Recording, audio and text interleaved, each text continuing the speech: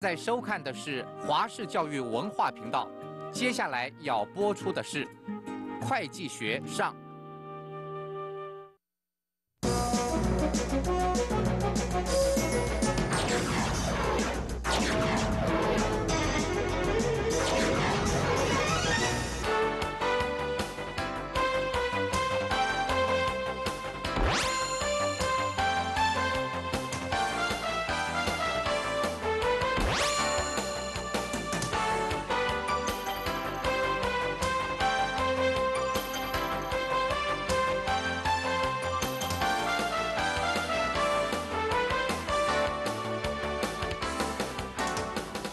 位同学，大家好。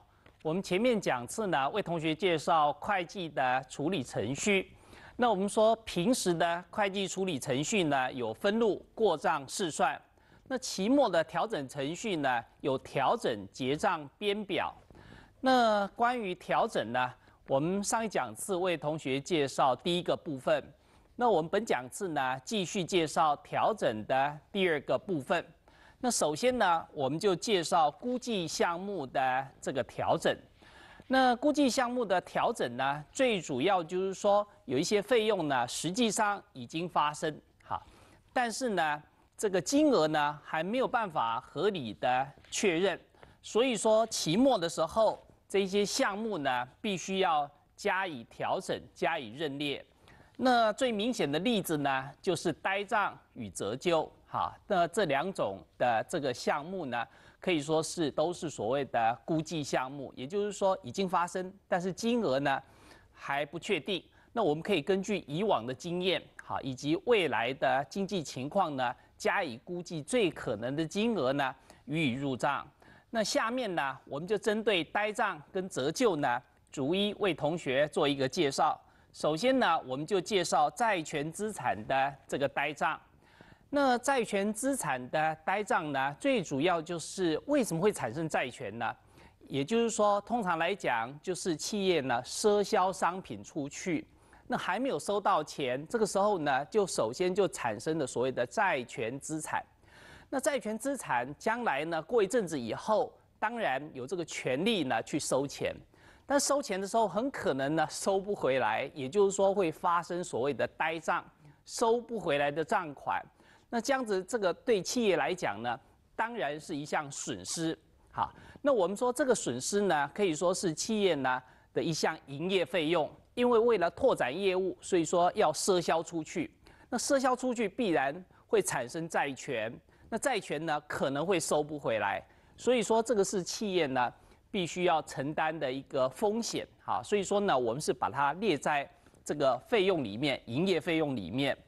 那债权资产了解了以后呢，接着，那我们说债权资产它的赊销而产生者，我们现在来看它的分录，有借应收账款，或者说是应收票据、代销货收入，哈。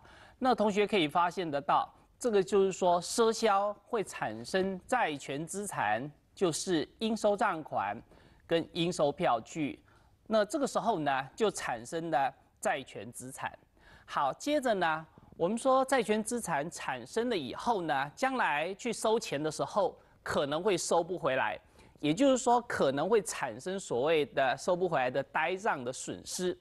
那我们会计学上面的处理呢，就是说呆账呢到底什么时候要加以认列？好，也就是说这个到底是什么时点才对于呆账呢这个损失呢加以认列？那最早以前呢，A 的话是说，等到确定没有办法收回的时候才认列呆账。好，比方说举个例子，今年度的赊销，那年底的话是债权资产钱还没收回来，下个年度去收钱的时候，好，那要是说收不回来，那下个年度就发生呆账收不回来。那这个时候 A 的话确定无法回收，也就是说今年度的赊销产生的债权。到下个年度确定没有办法收回的时候，那下个年度呢才认列呆账的费用，这是最早以前的会计处理。但这种处理，同学可以发现到得到很不好。为什么？因为赊销的收入啊，在本期就承认了，但是它相关的费用没有认列。那下个年度呢，呆账费用有费用，但是却没有收入，所以说两个年度的损益呢都错误哈，所以说这种处理是不好，而且期末的应收账款，我们认为说它的价格呢，它的评价也过高，那所以说后来改良了以后呢，就是期末的时候预先这个估计呆账，好，这是第二种方法，也就是说现行的方法。那期末先行预估，就是说今年度的赊销产生的债权，要是还没有收回来的时候呢，期末那我们就先预估说，哎，这个账款呢大约有多少收不回来？我们在期末的时候呢，就必须要把它加以估计，也就是说期末的时候就先行认列呆账，而不能够等到实际发生的时候才认列呆账。好，那我们现在来看，就是期末先行预估呆账，并且入账的理由。为什么要先行入账？好，先行预估呆账，而且呢要入账的理由，最主要呢就是说，我们刚才讲，今年度的赊销产生的债权以后，好，那这个时候有收益哦，销货收入，那它相关的呆账费用呢，我们认为说，在本期呢，好，在期末的时候就加以认列。那这样子收益跟费用啊就能够相互配合，就不会像刚才讲的两个年度的损益都错误。而且呢，我们前这个期末的时候先行预估呆账了以后呢，还有一个好处哈，那可能收不回来，所以说期末的应收账款的评价就可以降一点，就不会太高估哈。所以说呢，我们基于这两个理由，同学要记住，呆账呢。虽然说在期末的时候还没有实际发生，但是我们就是要先预估可能的呆账，并且呢加以入账，绝对不能够等到实际发生呆账的时候，我们才来承认损失。好，这个是它的理由。好，那我们了解了为什么要提列呆账以后呢？接着第四点，我们就是期末呢要做这个怎么样的做调整分录。好，那关于。期末预估呆账的调整分录呢？我们的处理是借呆账损失或借呆账费用，带背抵呆账。那这个呆账费用我们刚才已经讲过了，是收不回来所所发生的损失，所以说当然是企业的营业的费用。那接着带背抵呆账。那很多人认为说，哎，账款应收账款收不回来，不是应该带应收账款吗？为什么带背抵呆账？好，这里同学要注意一下。最主要呢，就是说，因为这个收不回来，月底的时候，好，或者说是我们说期末的时候，预估可能多少会收不回来。那这个只是预估啊，还没有真的实现。那我们也要假如说是带应收账款的话。很容易让人家误以为说，哎，这个账款呐，这个债权呐，我们就放弃了，就不要了，就是已经没有了。事实上不是的，我们只是预估说可能会多少收不回来，所以说呢，我们用一个过渡性的科目哈，也就是说背抵呆账这个科目来这个表达会比较好一点。那我们接着下面就来看它的表达方式。我们刚才说借呆账带背抵呆账。那贷方的背抵呆账呢，我们就把它移项，好，作为应收账款的减项。那这个减项一看呢，就知道说，哦，应收账款有多少，然后呢，很有可能多少会收不回来的背抵呆账。那减起来以后呢，就是应收账款净可以回收多少。那这样应收账款的评价呢，是会比较正确的。好，好，那时间的关系呢，我们。把这个呆账介绍到这儿，稍微休息一下。那下面呢，我们再介绍折旧。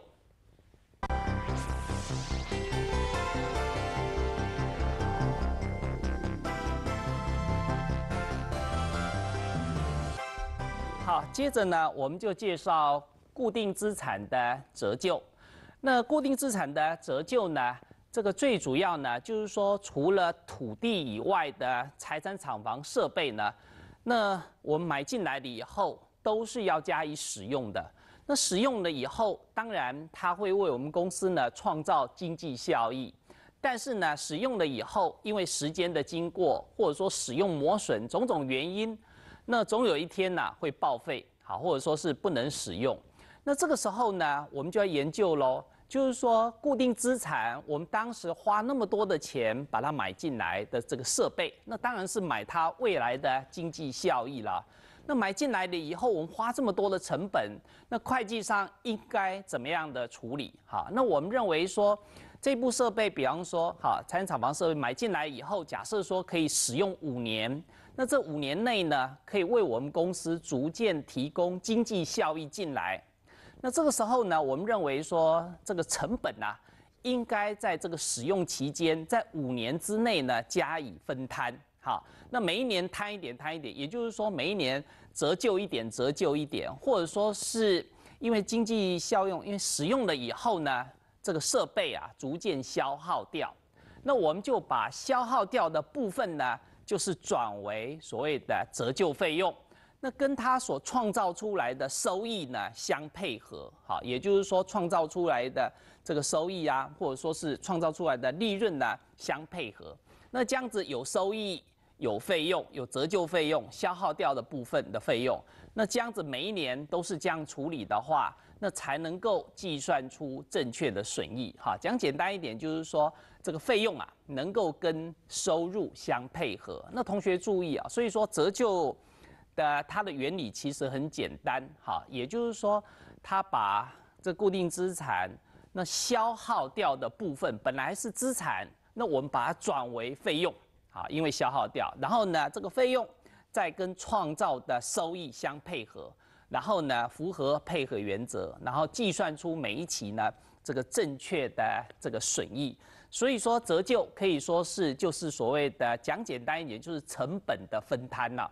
也就是说买进来机器设备，好，那这个花了多少的成本，然后在使用期间之内呢，把它加以分摊，这个就是所谓的这个折旧。好，那我们了解了以后呢，接着我们就介绍这个它的公式。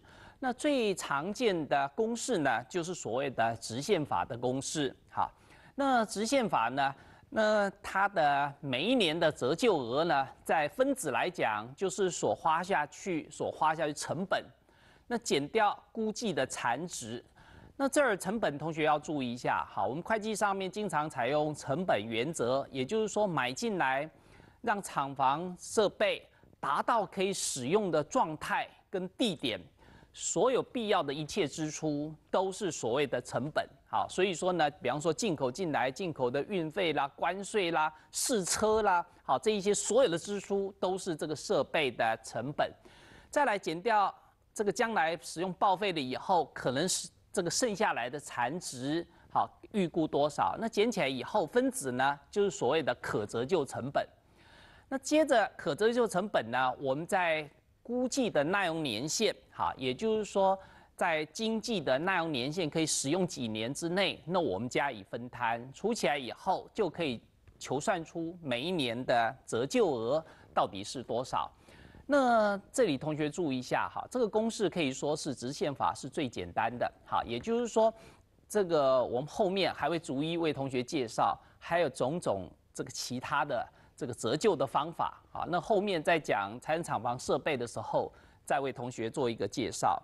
那我们了解了折旧额的公式计算出来了以后，哈，那接着我们来看会计处理，也就是说，在期末的时候，我们应该怎么样把折旧做一个调整的分录？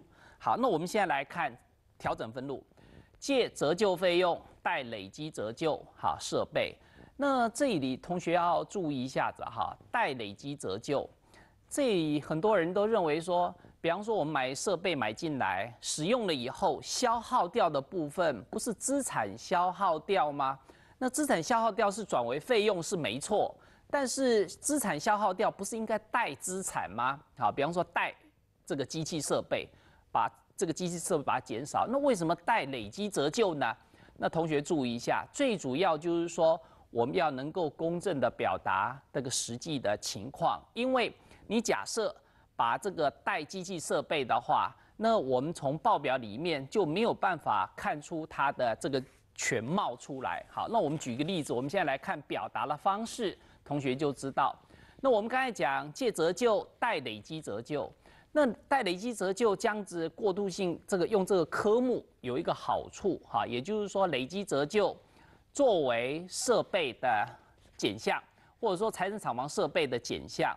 那这种表达方式呢，我们一看就一目了然，就知道说哦，这个设备呢成本是多少，那永远不会减少哈，成本多少，人家就知道了。再来减掉累积折旧，就是指累积已经消耗掉的部分，到底使用了多多久，或者说使用的多少，那一减起来就知道说账面值呢剩下多少。好，所以说这种表达方式呢，我们就可以知道说哦。这个某一项设备呢，它使用的程度呢，已经消耗掉了多少？已经使用了多少？哈，所以说呢，我们的处理呢是借折旧费用 带累积折旧。那累积折旧呢，就是放在啊设备的减项啊贷方。那我们把移项过来作为设备的减项。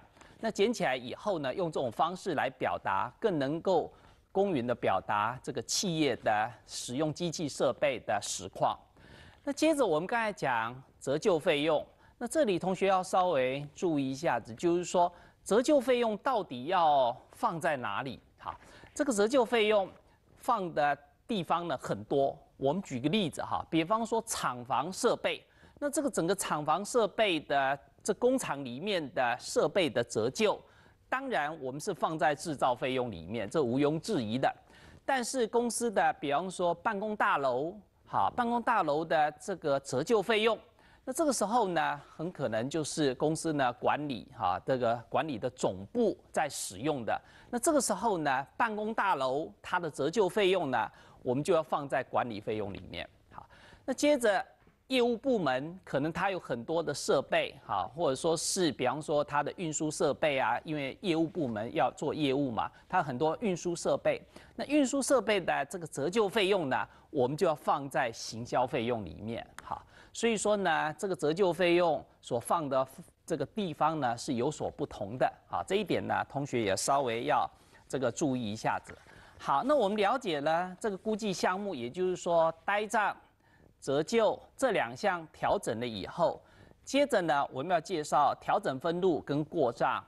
好，我们前面跟同学介绍过说，好，也就是说，分录、过账、试算、调整。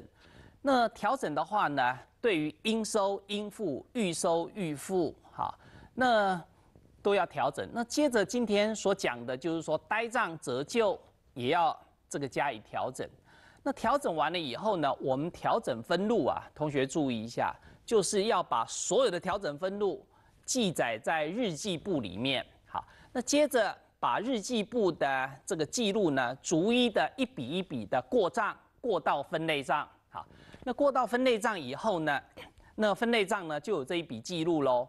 接着再把这个分类账每一个科目的余额呢。我们就汇总要编制成调整后的试算表，好，那调整后的这个试算表编完了以后呢，就可以啊来试算一下子，就是说到调整为止，那试算呢借方余额跟贷方余额到底有没有相等？好，这个就是调整后的这个试算表。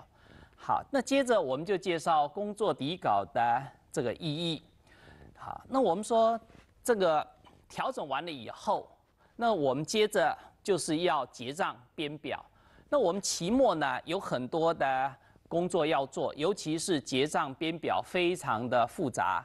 那我们说工作底稿呢，可以说是我们会计人员呢在简化期末的账务处理，可以帮助我们做调整啊、结账啊、编表的时候，它的一个多栏式的一个表格。好，那因为时间的关系，我们下面呢才继续为同学介绍这工作底稿的格式啊、功能啊等等。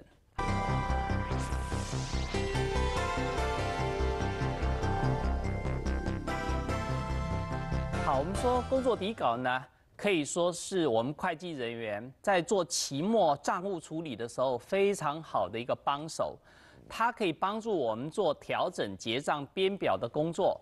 那最主要呢，因为期末的这个账务处理呢，可以说是非常的复杂，而且也非常多，哈，很麻烦，有时候又很容易出错。所以说呢，我们编个工作底稿来帮助我们做这一些期末的工作呢，事实上是可以简化我们工作的。好，那我们接着我们就介绍工作底稿它是多栏式的表格。那我们现在就来看看工作底稿它的格式到底是长得怎么样的。好，那我们请同学看一看这个工作底稿呢，它的格式通常来讲是有六栏。好，那同学可以发现到左边呢是会计科目，再来试算表、借方、贷方。哎，这个跟这个前面所讲的试算表很像。好，没有错。同学注意一下，这个会计科目就是所有的总分类账的科目都把它列示出来。以及它的介于、代于都把它列示出来，所以说一跟二就是前面所介绍的试算表。好，接着第三点呢，就是期末呢要做调整的分录。那我们前面所讲过，应收应付、预收预付以及呆账折旧，好，这一些调整分录也是有借方、贷方。接着调整后的试算表，那接着呢是根据调整后的试算表呢，我们就可以马上。编制出损益表，也就是说，把这个资料呢调整后的试算表的资料往右移，哈，那就可以编制出损益表跟资产负债表出来。所以说，同学可以发现得到，哈，编这一张表有一个好处，在这里做调整啊，调整后试算表，然后马上呢就可以编表出来，然后接着这个调整分录要记载在日记簿的话呢，以后有时间再做。调整跟结账的工作，所以说我们可以争取时效，好，所以说这一张表格是大致上来讲就是这个样子的。好，工作底稿呢，它是多栏式的这个表格，那当然会计人员可以根据自己的需求再增加或者说是减少。好，接着我们介绍工作底稿它到底有什么样的功能？好，它有三个功能，第一个呢是集中处理期末复杂的工作。因为期末要做调整、结账、编表，那资料非常的多，那而且非常复杂，非常容易出错。所以说呢，我们可以集中在这一张工作底稿里面呢，好，先记录，然后呢，先这个多方观察以后，要是没有错呢，将来才编表，然后才入账。那这样子正式的记录呢，就不容易出错。好，这是第一点。第二点呢，我们说便于这个调整结账的记录。并且减少正式账簿的这个错误，因为修正过了嘛。再来第三个是便于编制报表，争取时效。那会计的这个处理的程序呢，就修正为分录、过账、试算啊。那试算完了以后，编制工作底稿编完了以后，我们刚才讲过，马上可以编制财务报表出来。那接着有空的时间呢？才做调整的分录，才做过账，好，然然后呢，才做结账的这个工作，啊，好，以上呢，我们所介绍的是工作底稿它的这个功能，好，接着我们就介绍这个工作底稿，那既然这么好用，那我们说会计人员应该怎么样编制呢？它的步骤有下面六点，好，首先第一点呢。在编制工作底稿的时候，首先第一个，我们先填写标题。那标题的话呢，就是长的就是表头了。好，这个比方说某某公司它的工作底稿，那某年某月，这个通常来讲都是在结账之前呢所编制，所以说都是十二月三十一号。好，这个是这个所谓的填写标题。这是编制工作底稿的时候第一个步骤，接着第二个步骤呢，我们是把这个所有的分类账，好科目的余额，它的名称跟金额，把它列入这一张工作底稿里面。好，那我们现在来看一下子，这个它的科目，同学可以发现得到，就是把总分类账上面的所有的会计科目全部列示出来。那接着呢？把这个每一个科目的余额，看是介于还是带于，好，都把它列示出来。也就是说，讲简单一点，就是每一个科目，好，它的余额到底多少，把它列示出来。那当然，通常来讲，资产类的会计科目，它当然都是介于比较多。好，那负债跟业主权益呢，它的这个余额呢，通常都是带于比较多。然后呢，接着我们把借方余额加总起来，那就应该等于贷方的余额。所以说，这里所编制的这个试算表呢，跟我们前面所讲的试算表的编制呢，可以说是一样的。好，这是第二个步骤。接着第三个步骤呢，我们来看一下子，就是说把会计科目，好，那刚才讲到试算表，那接着往右延伸就是调整分录。那调整分录呢，那当然就是要把调整分录这个。列进这个调整分录栏里面。那我们举个例子来做说明哈。比方说，期末有一笔调整分录呢，是借保险费贷预付保费一千呃六百块。那我们就是借保险费六百，贷预付保费六百。那接着假设说，期末估计的呆账的调整是两百块呢？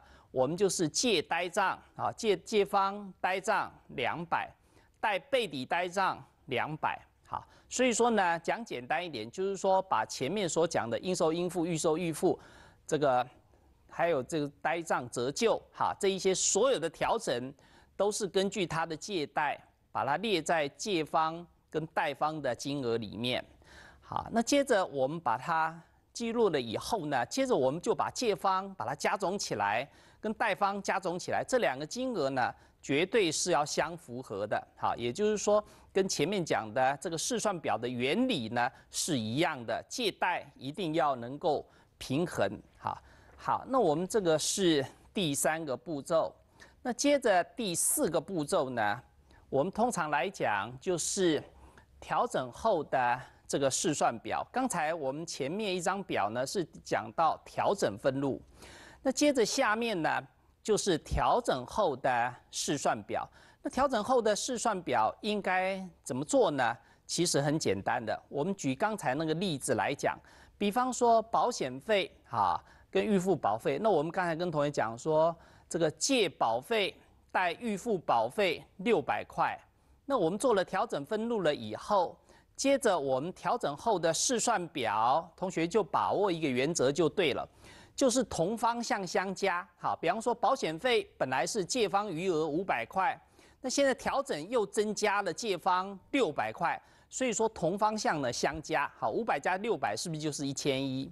接着相反方向的话就相减，预付保费本来资产是一千，好，那现在呢贷预付保费六百，这个是相反方向，相反方向呢就相减。那接着没有调整的部分呢，我们就是把它移植过来就可以了。相同的金额，相同的方向啊，借方移到借方，贷方移到贷方，方向一样，金额一样，好，那移植过来就变成了调整后的试算表。那调整后试算表当然加总起来，借方加总起来，贷方应该是一样的，好，应该是一样的。那接着调整后的这个试算表呢？我们就是要根据这个调整后的试算表，就可以来编制后面的这个损益表跟这个所谓的资产负债表。好，接着我们现在来看下面这一张图。那同学注意一下子，调整后的试算表，我们刚才在前面调整后的试算表，那我们就把这个收益费损的科目呢的余额就放在损益表的项目栏，那就把。这个资产负债业主权益的这个项目，哈，就放在这个借方贷方栏里面。讲简单一点，就是把前面所讲的调整后的试算表，逐一的过到损益表跟这个资产负债表里面。好，那我们现在来看第五个，在损益表还要做这个计算损益的这个工作，哈。计算损益的话，比方说贷方这个就是收益。借方这个就是费用，减起来以后呢，就是所谓的利益。那接着我们一定要缴税啊，所以说计算出来所得税就是借所得税费用贷应付所得税。那所得税费用呢是这个费用类，好，然后呢应付所得税呢是资产负债表的贷方，好，那这个一样出来了以后呢，借方跟贷方的余额呢也应该相等，好，这以上呢。是这个工作底稿我们编制的步骤。